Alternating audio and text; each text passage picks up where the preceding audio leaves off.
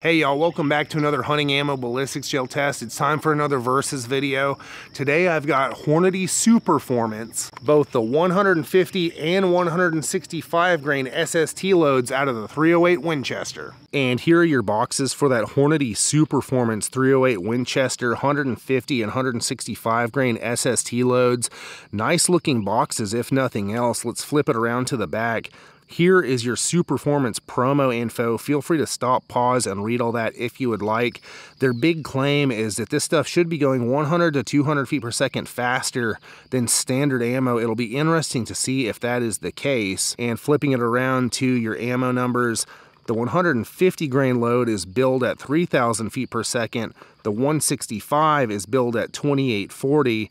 And just for this little velocity comparison, I'm going to bring back out a load that I just recently tested. This is Hornady Custom 150 grain SST, so sort of a sister load to the 150 Superformance. And let's look at the velocity spec here. So this claims 2820 versus the 3000 feet per second of the Superformance. So it'll be interesting to see what this winds up actually being because as per the boxes, we're looking at an extra 180 feet per second and we'll go ahead and open this up and take a look at the ammo itself. I'm just going to do the 150s because they're identical to the 165s.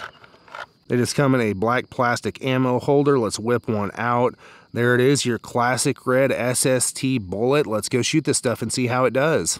And my test rifle today is my Ruger American Standard, chambered in 308 Winchester, of course. It has a 22-inch barrel. I did have it threaded so I could use a Silencer Co. Hybrid 46 suppressor. And coming on back, I've got it topped off with a Vortex Diamondback 4-16 by 42 scope. Definitely helps see the gel blocks down there. And of course, I've got one of my handmade leather cartridge cuffs on the buttstock. Check out my website, masonleather.com. I would love to make you one. And I've also got one of my super thick Latigo leather slings on there. Those are also available on my website. And coming around to the other side, I've got to show you my whitetail deer design and check out the brand new Shop the Mason Outdoor Store feature below this video. If you don't have YouTube Premium, just scroll down a bit to find it. I've built a brand new website, masonoutdoors.com, where you can get all my favorite range gear and outdoor equipment. Everything you see I personally use and can recommend with confidence, and every purchase helps me bring you more YouTube videos. Click the items below or visit my website, masonoutdoors.com, to get all my favorite gear that I think you'll love too. Links are in the video description and the pinned comment. Now, back to the video. We'll be taking three shots from 100 yards, firing into 10% ballistics gel that has been calibrated to meet the FBI's ballistics testing protocol. And while ballistics gel isn't an exact proxy for big game, it does provide a repeatable medium through which to test various bullets and ammo against each other.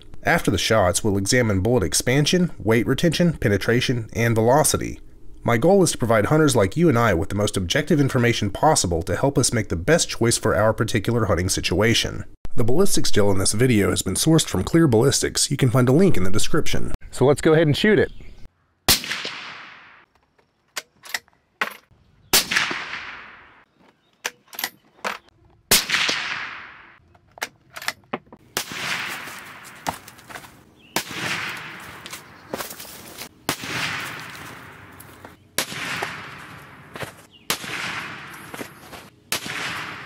And here are the velocities for that 150 grain Superformance SST load out of the 308. These things are cooking right along. We almost hit 3,000 feet per second. Not quite though. We had a minimum of 2942, a max of 2953 for an average of 2946. And look at that spread, only 11.6 feet per second. And here is the velocity data for the 165 grain version of that same load minimum of 2781, max of 2790 for an average of 2785. And once again, the spread was only 8.8 feet per second, very tight. And we'll get more in depth with velocity here in a second. And we are down here at the blocks after shooting those 150 grain and 165 grain Hornady Superformance SST loads out of the 308. We captured all three of the 150s and all three of the 165s. And these things fling these front blocks around like nothing I have ever seen in terms of sort of a mid-range standard deer caliber, you know, 270, 30 6, 308. These things pick these front blocks up and just throw them. Well, let's go ahead and take a look at penetration. For the 150s, very, very consistent penetration I'm going to call all three of them at 21 and a half inches. They're all right there in that range. It looks like we did get some really good mushrooming and expansion there. It doesn't look like they broke up too bad. The block is kind of cloudy on the surface because it kept flinging around on the ground. It has dust and stuff on it, but there's not a whole ton of shards or, you know, jacket that broke up in here. It seems like they held together for the most part. I'm sure some broke off, but not as much as I would have expected. And for the 165s, we had a little bit of variance in penetration.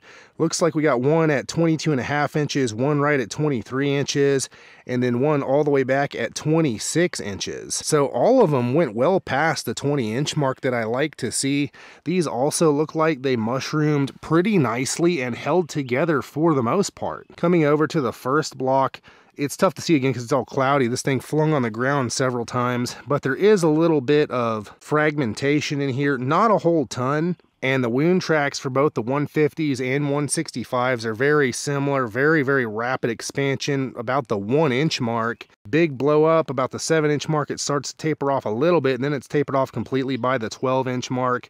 Almost exactly the same for the 150s. So let's go ahead and dig them out and take a look. All right, y'all, so we've got the bullets dug out of the gel. Let's go ahead and go over all the metrics. First, we'll hit weight retention. For the 150 grain SSTs, we saw 100, 103, and 105 grains for an average of 103 grains retained weight, and that works out to 68% weight retention. For the 165 grain SSTs, we saw 114, 114, and 115 grains for an average of about 114 grains retained weight, which works out to 69% weight retention, so nearly identical weight retention percentage wise. And honestly, quite on par with what I would expect from the SST bullet. It's not bonded, it's not meant to hold together, it's meant to deliver a punch, and that's what this stuff did. Now on to expansion. For the 150s, we saw 0.57, 0.66 and 0.79 inches for an average of 0.67 inches expanded diameter,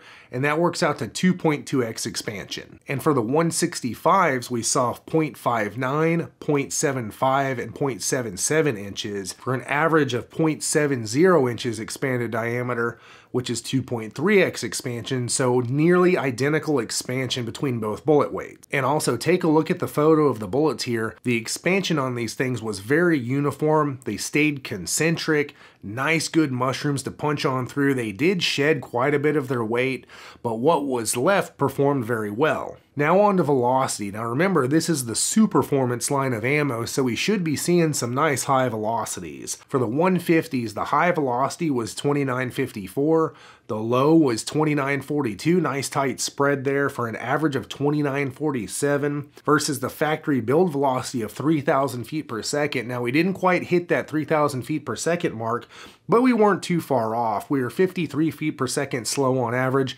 I've seen a heck of a lot worse than that. And then for the 165s, we saw 2790 for the high, 2781 for the low. So again, very tight spread for an average of 2786 versus the factory billed velocity of 2840. So 54 feet per second slow on average, nearly identical to the 150s in terms of how much slower they are than factory spec. And I was shooting these again through a 22 inch barrel which by far the most common barrel length for hunting rifles in 308 Winchester is 22 inches or shorter. The factories are using longer barrels. Why? Well, I do know why. It's to trump up the numbers on the box and make it seem like you're getting more velocity, but when you measure it out of realistic hunting rifles, that's just not what you get. And yeah, I know there's 24 inch and 26 inch barreled 308s out there, nowhere near the norm. And now real quick, we'll hit impact velocity. So how fast were these bullets going at 100 yards when they actually impacted the ballistics gel or if it was a deer or something down there how fast are they actually going at 100 yards? Now, these numbers are estimates based off a mathematical formula using factory input, so it's going to be pretty darn close, but it is an estimate. For the 150 grain bullet, the impact velocity would be about 2,741 feet per second. Pretty darn fast. That Superformance load does trump up the velocity quite a bit over a standard custom load from Hornady. You're getting quite a bit more velocity. And then for the 165s, the impact velocity is going to be about 2,591 feet per second down there at 100 yards. Just something to know. Now on to penetration. For the 150s, this was incredible. The same across the board. 21 and a half inches for all three bullets. Exactly the same. Pretty darn good performance. That's past the 20 inch mark that I like to see for your medium game, you know, whitetail deer hunting ammo. And then for the 165s, we did see a little bit more penetration. We had 22 and a half, 23 and 26 inches for an average of about 24 inches of penetration. It's nice to see the slightly heavier bullet going a little bit deeper. That's what you would expect, and that's exactly what we got. And then kinetic energy wise, for the 150 grain load, going on average 2,947 feet per second, we're looking at 2,892 foot pounds of energy at the muzzle. This stuff is a sledgehammer for 308 Winchester. It packs a serious punch. And then for the 165s, going on average 2,786 feet per second, we're looking at 2,843 foot pounds at the muzzle way up there. This is some hot loaded 308. All right, y'all, time for my final thoughts on the Hornady Superformance SST loads out of the 308 Winchester, both the 150 and 165 grain loads. By and large, the performance was very similar between both of them. Weight retention was almost identical percentage wise. Expansion was once again nearly identical. Go back, look at the photo of the bullets. They all look pretty much the same. Velocity, of course, the 150s are going to go a bit faster. Neither one was extremely slow versus box spec. I've seen a lot worse. I'm pretty darn happy with it. The big differentiator between the two bullet weights, the two different loads, and it's really not even that big of a difference, is the penetration. The difference on average only being two and a half inches. The 150s got us to 21 and a half inches of penetration. The 165s got us to 24 inches on average with a little bit of variability there. So all in all, I think these things did pretty darn good for a medium game hunting load.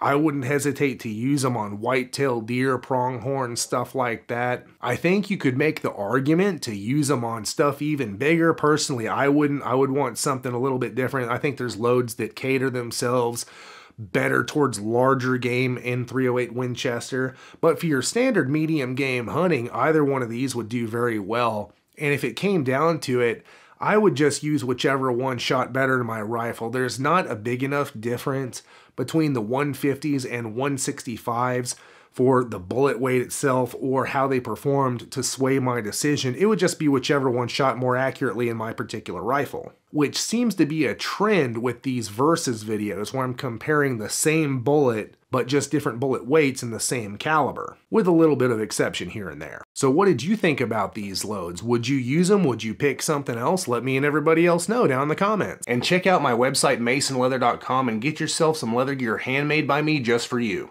I've been handcrafting leather gear for hunters for over a decade and I would love to make you something. And there are hundreds of reviews on my website so you can see what real hunters have to say about their mason leather gear. And also tons of photos showing all the customizable options, including name, initial, and caliber stamping, as well as wild game designs and more. Everything is handmade by me right here in the USA. I would love to be a part of your hunt through my leather gear. And it helps support this channel, so I can bring you more hunting ammo ballistics gel tests, and lots of other cool stuff in the future. The link will be in the video description and the pinned comment, or you can just type masonleather.com into your web browser. And click one of these cards for more hunting ammo ballistics gel tests.